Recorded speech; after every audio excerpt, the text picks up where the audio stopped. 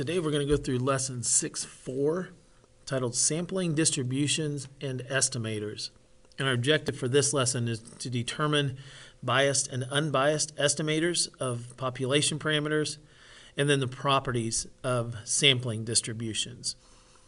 So before we get too far, let's talk about what the sampling distribution of a statistic is. And we're going to look at mean and variance and proportion specifically today.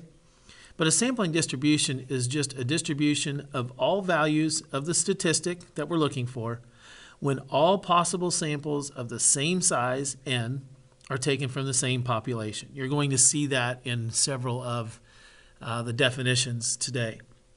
So let's go ahead and get going. Let's talk about the sampling distribution of the mean. And you can see the definition here, the sampling distribution of the mean is the distribution of sample means with all samples having the same size and taken from the same population. Now to look at that, let's look at a spreadsheet that I've made. And I know we've got sample variance and is the roll of the dice odd. We're going to get to all that in a little bit. But let's just first talk about the sample mean. And what we've done is we have uh, a die, and we're going to roll the die five times and record the results. Sorry about the bell. All right, so in the first sample that we have, we rolled a die. We got a 4, a 6, a 5, a 1, and a 1 on the five, se five separate rolls. And the mean of that sample, if I were to add up 4 plus 6 plus 5 plus 1 plus 1 and divide by the five rolls, I get a mean of 3.4. And I do it again, second time. I get 6, 4, 3, 1, 1, and I get a mean of 3. 33113, I get a mean of 2.2, a lot of low rolls. 56313, etc. And what I've done is I take 12, I think there's 12, there might be more than that, rolls of the of the die 5 times and I get all of these means. And what I'm going to do is find the mean of those sample means. And when we calculate all these means and find the mean, the average of those, we get 3.6. So this would be an example of a sampling distribution of the sample means. So when we did those trials and found the mean of the sample means, we got 3.6. Well, let's think about what we would expect to get if we roll the die five times. But before that, let's think about if we roll the die one time. What is our expected value if we roll a die one time? Well, it would be the average of what we get. We get a 1, a 2, a 3, a 4, a 5, or a 6. And if we add 1 plus 2 plus 3 plus 4 plus 5 plus 6 and divide by 6, then we would get an expected value of 3.5. Well, we can see we got 3.4 here. Let me get my pen right. We got 3.4 3.6, 3.4, 3.4. Um, we never did get 3.5 because all of these are coming out to be even decimals. But our mean was relatively close to that number of 3.5. And this was with 1, 2, 3, 4, 5, 6, 7, 8, 9, 10, 11, 12, 13. We did 14 trials on this one. Now, if we did some more trials, if we did, let's see, I've got another 14 it looks like right there. And I've put these into Excel as a random uh, number. So it's going to generate a random number for each roll. In the first one, I got a sample mean of 3.6 and 1.4 and 3.0 and 3.2, 4.2. If we added all 14 of these together, then our mean of the sample means was 3.2. Well, let's do that again. And I'll have to get out of this and I'm going to generate a brand new set. We get a sample mean of, uh, the mean of the sample means is 3.3. If I do it again, I get 3.5. If I do it again, I get 3.2 and so on. I can keep generating all these rolls of the die and take this mean of the sample means and evaluate that. So if I take all of these, oops, not what I wanted to do if I take all of these sample means, these means of the sample means, and do this uh, trial, let's say 10,000 times, Okay, I've gone through and generated about eight different ones. So if I go through and do this sample 10,000 times, and I keep getting these different means of sample means right here, then that has a certain property. And let's look at a couple of those properties. The sample means, we say that they target the value of the population mean. That is, the mean of the sample means is going to end up being the population mean. The expected value of the sample mean is equal to the population mean. Now, if I just do one trial of, of rolling the die 14 times, uh, in that first example, I had a, a mean of the sample means of 3.6. Now, we expected to get 3.5. But if I were to do those 14 rolls, or those 14 trials of five rolls, 10,000 times, I would expect to have a mean of the sample means to be 3.5. It's going to target that expected value, and that's awfully important. The second thing is that the distribution of the sample means, sorry about that, the distribution of the sample means tends to be a normal distribution. That is, if I did this trial, oops.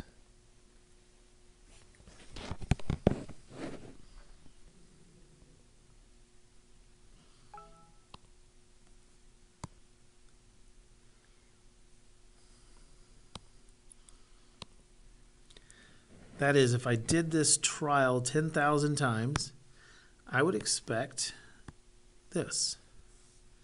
That if I found the sample means, we're going to put 3.5 right here because that's what we expect. And maybe here's 4.0 and 4.5.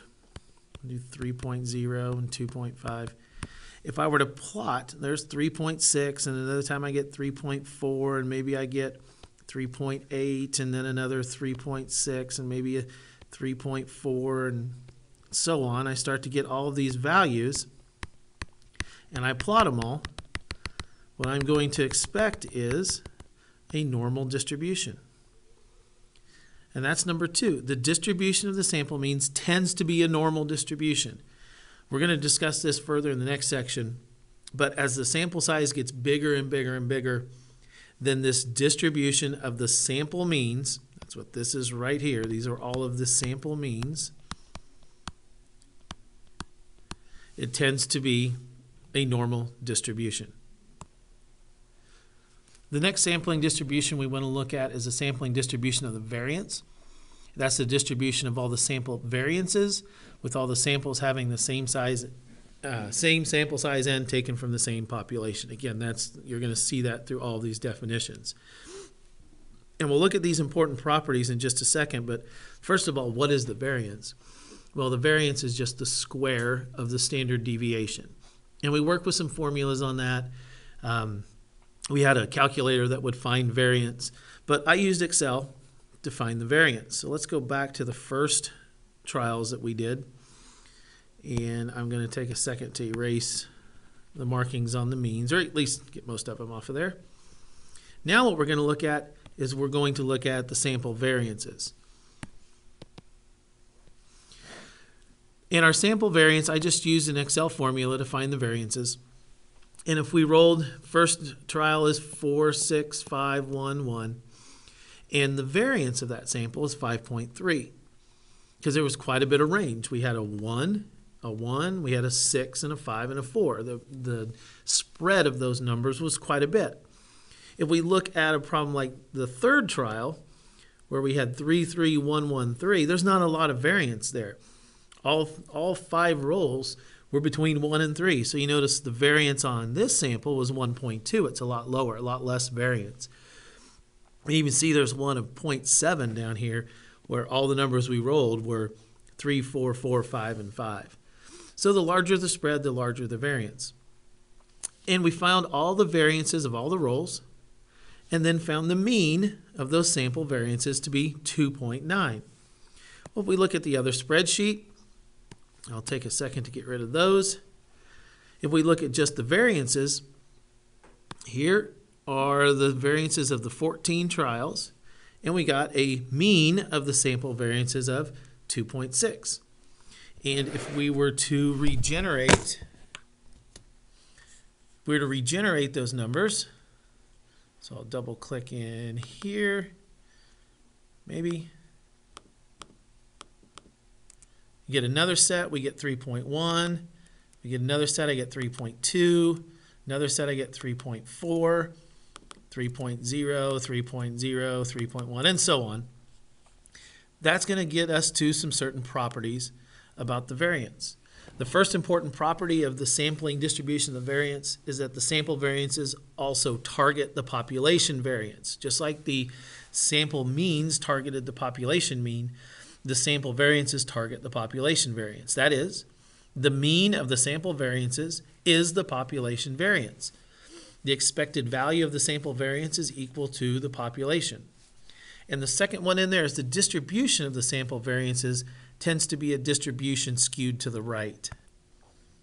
So if we took our sample variances and, and graphed them, we'll put 3.5 here and we'll do 4, just like we did with the means, 4.5. Uh, this would have been 3.0, 2.5. Now remember, we had some of them. I even saw one of 0.7 on the variance. So we'll start here with 0. What we're going to find is the variances, if we were to plot them, tend to have this kind of a pattern. That is, if we connected the dots or we put them underneath a picture, it would look like this, where it is skewed to the right. Remember, we said when we skew to the right, it has a longer tail to the right. So the distribution of sample variances is not normal like the sample means were, but it tends to be skewed to the right. That means most of the data is in a big hump here, kind of to the left.